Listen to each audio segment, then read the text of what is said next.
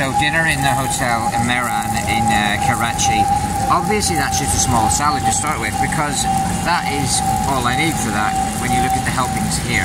Okay, so this is all different types of meat and fish and rice and vegetable.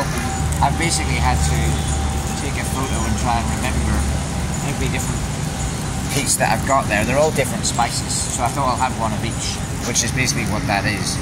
And then they brought me this absolutely delicious looking barbecue platter where I have freshly barbecued meat right from the counter here and including some vegetables and bread to go with it. And this is all in a hotel in Mehran here in Karachi as well.